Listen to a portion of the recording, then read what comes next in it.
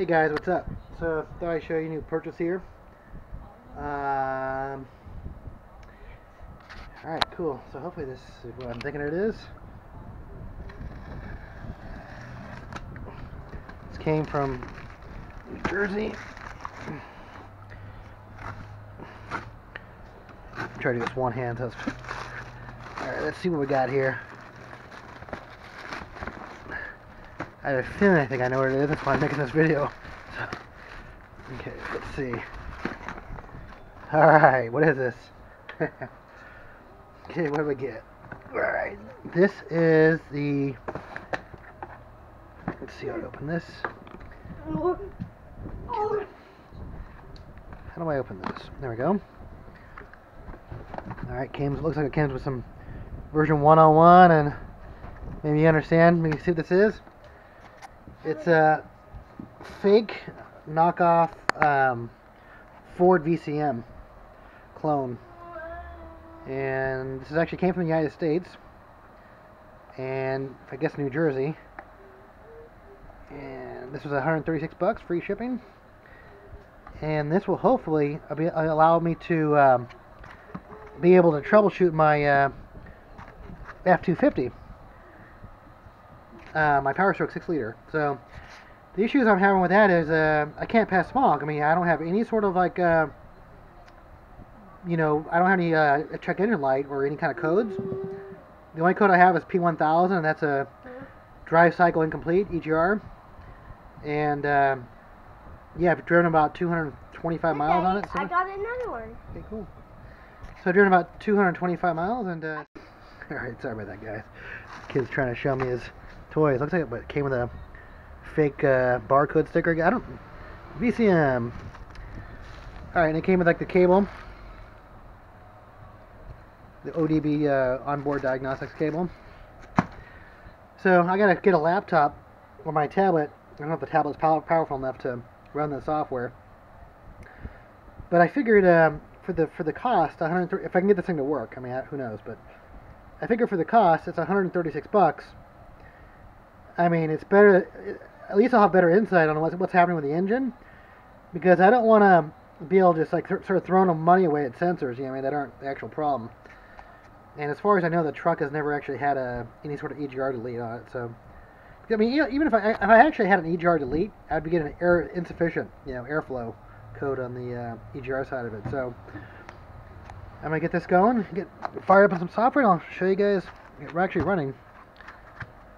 And um, that's funny. It came with some CDs. I don't even know what's on these things. I already have my own version of software. You know, if you guys want to make it legit, you can buy the software. Uh, I'm gonna get a trial soft version of the software to mess with this. You know, like a legit. At least I know where the copy came from. Downloaded from Ford, but Where are you going? um, yeah, there's actually bunch, there's lots of places where you can get the uh, bootleg software. So if you want to try that, I'm not gonna do that on video for you because that's serious. I it could be a no-no. Um, okay, so yeah, try this thing out. Hopefully, I, I'll be stoked if I could actuate the EGR valve. And you can tell me if it's actually working or not. So, alright, so next uh, I'll be back with my laptop and uh, we'll get the uh, software installed on that and get this tested and uh, might do an injector uh, contribution test and so hopefully I'm gonna be able to get some like really good insight on what's going on with my engine and for 136 bucks it could save me a lot of time and money throwing throwing money at it and sensors and stuff so all right cool Okay guys, back here, and I'm actually working on that VCA uh, M2 clone, and uh, Uh, Daddy, yeah, is that the moon? that's the moon. Okay, go back, go back, go back. Okay, go back. Okay, cool, cool. So, um, sorry about that. Um, yeah, I have a moon, moon back screen, one of my screens. So, been working on this for uh, all night long, and you can see in front of me, um, which I highly suggest is to run this in VMware like some kind of player or Hyper-V or some sort of technology like that. Whereas you don't really want to modify the registry on your actual computer, the your main computer, because in case something happens or you got to redo it, you're not you don't have to go through your registry and you know mess with all the stuff that uh. Sorry, eating back there. Okay, so as you can see, um, I've actually done a couple different tests here, and um, I'll show you Windows the one the Windows 7 one, 64-bit. So you can see that. So I have already plugged in a USB. You can see it's powered on. I do have an external power adapter in case I need it, but um, yeah, this was actually a total pain in the ass. And the CDs that came with this thing didn't actually have like any sort of manuals or, or drivers for this thing. So this whole time I, would messed around with it. I thought, okay, maybe it's not compatible with 64-bit Windows, so I put Windows XP on there, and uh, but really these this thing is actually not compatible with the standard VCM driver. So the chip on here is different for some reason.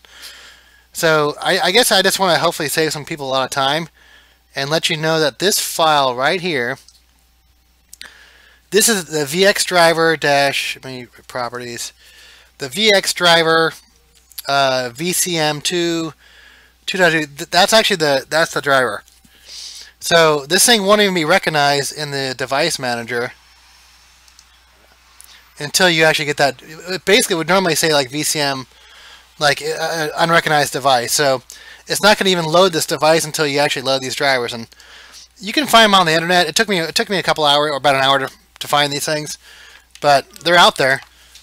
Um, so I am actually doing a three-day trials. I mean, this is not going to be a tutorial on how to bootleg IDS because uh, I don't want to get in trouble for that because yeah, I, have actually messed with different versions. One of these, I, these are these are legit copies I got off Ford's website, and some of the older versions can do a three-day trial.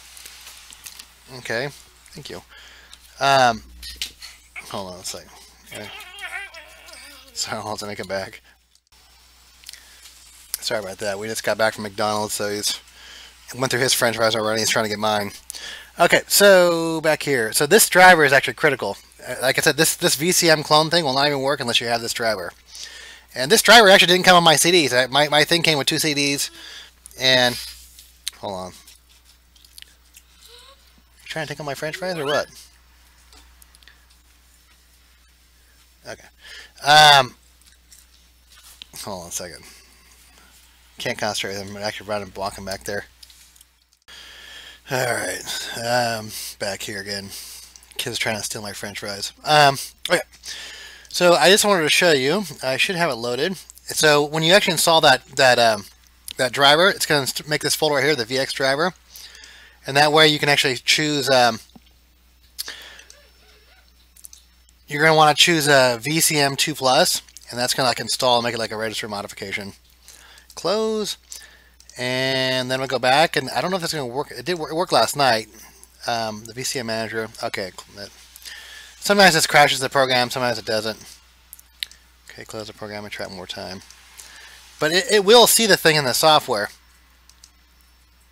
Okay, so. But I think this IDS already expired already. Let's see here. Okay, yeah, this one's out of date. So this one expired, so I'm not going to be able to use this one. But um, in the next video, I'll show you the uh, me using the IDS software um, on a different. That, that's actually why I have, I have multiple versions of this because I, I didn't know last night I was experimenting. So, but like I said, if you actually have this clone, man, you need to have this driver it's not going to work without it. So that's that's the main thing here. I spent hours trying to figure it out last night, like four or five hours installing different operating systems. Didn't know if because I thought I figured that the CDs that actually came with the device would have the drivers on them, or I, I figured I would have everything I need on the CDs that came with it, but you don't, and there's no documentation or nothing. So. Okay, I'm going to shut this down, and I will be back. I'm actually I'm to install this on my laptop. This is actually my, my main main computer here, but I'm to put this on my laptop so I can go in the truck and uh, do some tests here. So, um, hey guys, back here, day three. Uh, have about 15 hours into it and still no go. Um, I've tried two different versions of software. I've tried uh, 105, or no, three different versions of software. 105, uh, 101, and 97 and still no luck. So what happens is um, I connected the truck and uh, it seemed like it wants to go. Like when I do the scan, it, it detects the, the truck, but then I get like freezes up and I get like some kind of test error.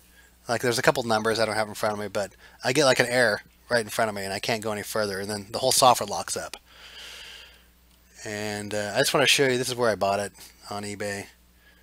And uh, it said this guy came from the city of industry, but it, this came back from New Jersey. Because this is about an hour from where I live. And if it came from there, it would have come in one day. But this took about a week to show up. So, And it said New Jersey on the on the shipping label. So, um, okay. And I just I guess I want to show you the differences of what in their pictures and what I got. So all this looks the same. It came with all that, the carry case, the cables. On, phone ringing here. All right, guys, back here. So yeah, phone wranglers doing this video. So I, I do. I am actually working right now. Um, okay, where was I at? I was I was going to show you uh, the packaging. That's what came in. It looks just like that on the outside, stickers and all. But the difference is the PCB looks totally different. So that is the uh, front side. It's missing like the little daughter card. If you see like on that one, there's actually an extra daughter card, like right here. And then it doesn't have this flash chip. It doesn't have a lot of these different chips. But there's not even provisions on the motherboard for it. So, I mean, there just looks like a provision there for like this micro SD card slot. But that's not there. Um, so it's definitely different than this picture. So if I can get this thing to work, that's definitely an argument that, dude, you sent me the, what you sent me looks totally different than the pictures. I mean, if you send me a picture of the PCB, it should probably look exactly like what you're, what you're going to send me. That's the back of it. It's definitely uh, obviously missing a lot of chips. And the problem is, it's not even just missing the chips, the whole PCB is different. So, um, so what I learned about, you know, dealing with computers for the last 20 years is a lot of times like when you look at motherboards um, and you see all these like spots that look like they uh, could possibly have it like a chip and it's missing the chip like solder points is that the company will actually remove components. Let's say like, like a computer motherboard right? Like these cheaper Chinese uh, firms that make motherboards um, will keep on removing components. Like a lot of the stuff is just like you know like a, like a sound card or USB not you know not on there. Like the chip is missing and then the related capacitors and diodes and all that stuff are missing. But a lot of times what they'll do is they'll remove all these filter capacitors. They'll keep on removing them until the system becomes unstable and then add a few back so they can save on cost you know so they try to remove as much crap as they possibly can that actually stabilizes the motherboard you know before it fails and then they add a few back to make it sort of stable again that's why those uh, Chinese motherboards that are you know, they're not like a name brand like Intel or, I mean, Asus is pretty good. I mean, there's some good brands out there, but usually like the, the, the computer manufacturers will come out with a spec of what they want. The Chinese will cheaply try to bypass as much as they possibly can by using less components to save money. Okay. Uh, okay. Okay, so that was it. Uh, that thing. So I've already tried three different versions of software. Three failures. Today I'm going to try version 8.6 and if that doesn't work then I'm going to say dude give me the one, give me the the device and the picture. You know, because this seems like this obviously, oh yeah, this thing doesn't have built-in Wi-Fi. Normally this is supposed to have Wi-Fi. So I'm trying to figure out what part of this board is the actual Wi-Fi. Yeah, I, I don't know if it's the actual extra daughter card that's doing the Wi-Fi, but um, yeah, no Wi-Fi. And this looks totally different. At that. Totally missing, completely different. Okay. All right. So, so we got about 15 hours in this already. So, um, but oh yeah, what I was saying is, uh, I also, dude, if you're running a repair shop, you know, and you're actually fix, you're getting paid to fix these these cars, man. There's no way in hell I'd run this thing. Um, you know, on some other person's car that I'm working on just because I've actually heard stories where people would actually go to like flash the, the firmware on the PCM and it erases the PCM, but then it fails on the rewrite. So what they do is they end up bricking their, their customer's car and you hear they're all stressing out. They can't, their customer's car won't work anymore, you know, and, uh, yeah, if I if I was a Ford repair shop, I would definitely there's no way in hell be running this thing. Yeah, I mean that would be so embarrassing to sit there and and and uh, brick your customer's car, you know. But uh, yeah, this is just my own personal truck. I'm trying to actually do. it. I just want to do an EGR test, man. So this thing will fucking pass smog.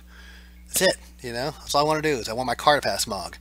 But I wanted a tool that would maybe, hopefully, maybe give me some better insight on what's happening. Um, this thing, I supposedly supposed to have some thorough EGR test, and that's the part of the smog I'm not passing. It's the EGR readiness test. So, and I've driven about 250 miles, so that's another video, uh, a previous video of me trying to get things smogged. But, um, alright, cool, man. I will be back. Try version 8.6. Okay, guys. I don't know if you can see me here, but let's see here. Um, looks like I'm on the frame here. Okay, so um, this is uh, my third and final attempt. Uh, I already failed already with this version, but I, I guess I just want to show you how this thing is failing. So hopefully you don't hear my kid in the background. Let me quickly uh, show you the uh, VCI manager. And why did I just show it this time? The uh, unplug it again.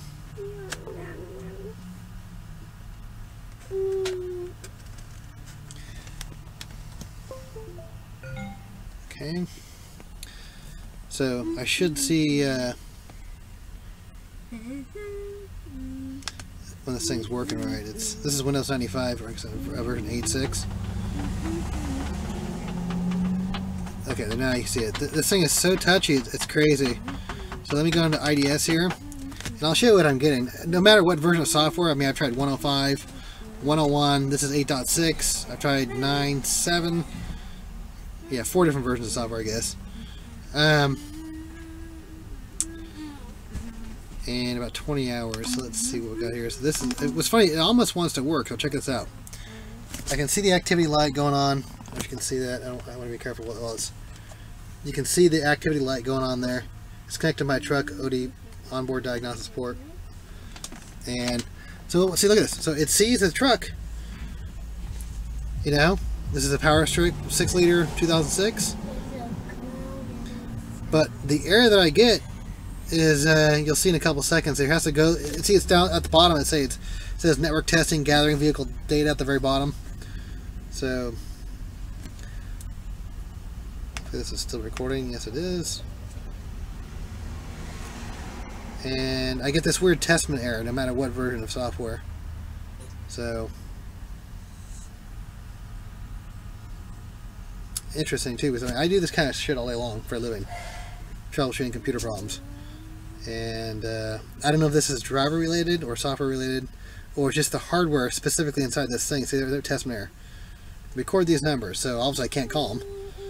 But and I'm sure the person I'm actually going to talk to when I say when I, am going to ask the person like what the hell's going on, the person I bought it from, um, they're probably not going to know because they're just a reseller of this shit. But like I said in the previous video, you can see that the PCB or the circuit board didn't even match.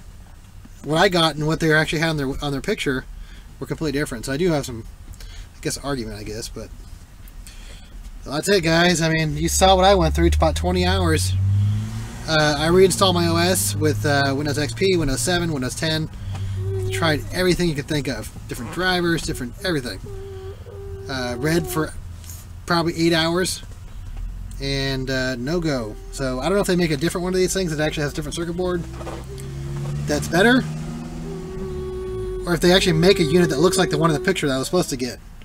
I don't know. So, But I'm kind of pissed because I want to figure out the hell what's up with my truck. You know what I mean? And I mean, in my other, other video, I make doing like a smog and me trying to pass smog. And I did actually have a clogged up, kind of a sticking EGR valve. Like the EGR itself was pretty clean, but the valve itself was kind of sticky, not going all the way back in. It was very, very uh, sluggish.